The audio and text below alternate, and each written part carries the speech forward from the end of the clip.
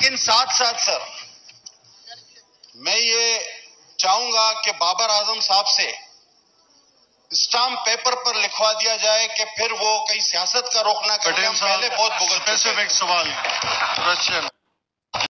बाबर आज़म का लेवल कुछ ऐसा हो चुका है कि लाहौर की होम टीम के लिए इतना क्राउड नहीं आता था जितना एक अकेले बाबर आज़म के लिए आता था।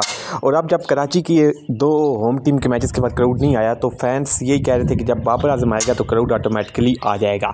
अब नेशनल असम्बली का पहला सेशन था प्राइम मिनिस्टर बनना था तो सारे वहाँ मेंबर्स बैठे थे। तो पीटीआई वाले चलो हैं ही बाबर फैंस लेकिन वहाँ एक कोई पीपल पार्टी का बंदा था, उसने कहा कि जी बाबर आज़म से पहले स्टाम्प पेपर पे लिखवा लो कि आप सियासत में नहीं आएँगे। उन्हें पता है कि पहले इमरान खान ने आके इतना तंग कर दिया, इतना वोट ले लिया है। बाबर आज़म तो आया तो हम तो लेमिनेट हो जाएँगे, बिल्कुल सियासत से। तो कुछ लेवल इमरान खान के बाद जो बाबर आज़म पकड़ चुका है, अल्लाह यार। मीन्स कि जहाँ ये बंदा जाता है, पूरा ग्राउंड भर देता है और सोशल मीडिया हर तरफ़ बाबर बाबर हो रही है। वाह भाई, वाह, बाबर।